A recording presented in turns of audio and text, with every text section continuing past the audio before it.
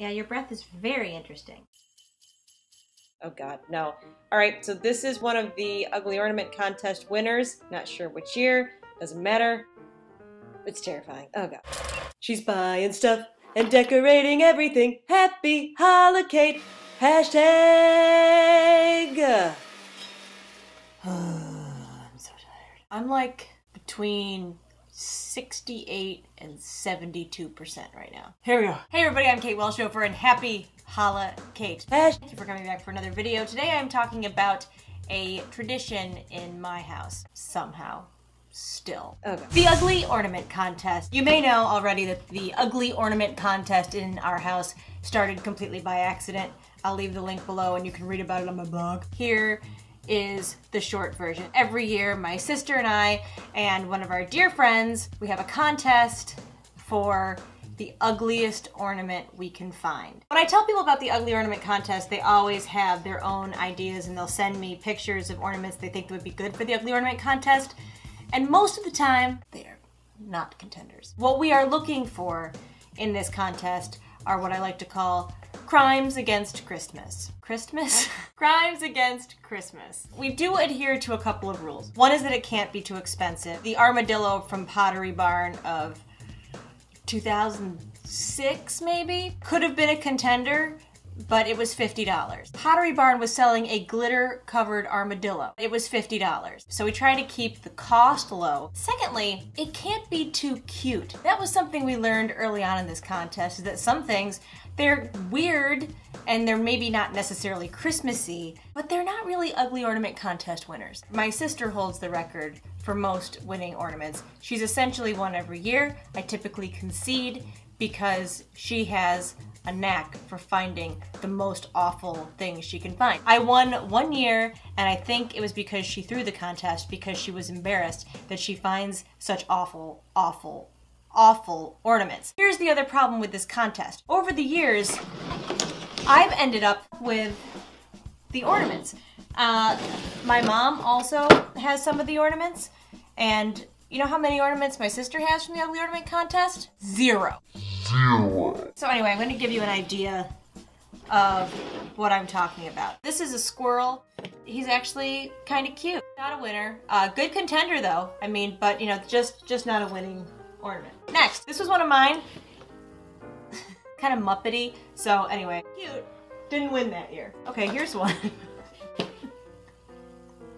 we got some sequins, we got some corduroy, we got some felt. And oh, and I should mention this was also purchased and not handmade. And that is also one of the stipulations of the contest. Over the years, people have said, why don't you just make something really awful, like glue macaroni and glitter to it and just and enter that in the contest. And we don't do that because one of the great things about the ugly ornament contest is that somewhere, some company made these ornaments with the idea that they could actually make money from them.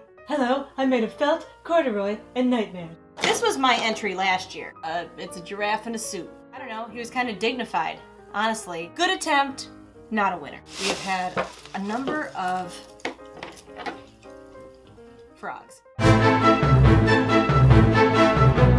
This guy was actually the winner. I never realized that this frog has breasts. And this is who we beat. It's in the eyes. Really look him in the face and that can help determine a true winner. I don't know. This year we actually asked the internet to decide and the internet did in fact uh, you guys voted that this guy uh, was worse. So this is, I think, this is my only win.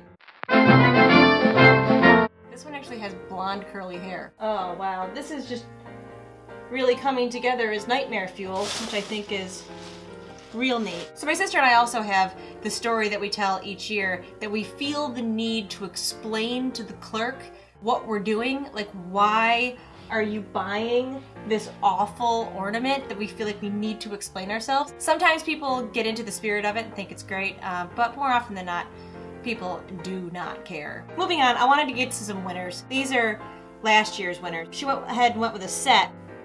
There they are. To make matters worse with these two, uh, my sister added these to my mother's nativity scene. So they are a couple, so they really should be together. looks great. Finally, I want to share with you what I consider to be the gold standard of ugly ornament champions. This is the ornament that all ugly ornaments are judged by, in my opinion. I've never found anything as truly terrible as this. My sister found it.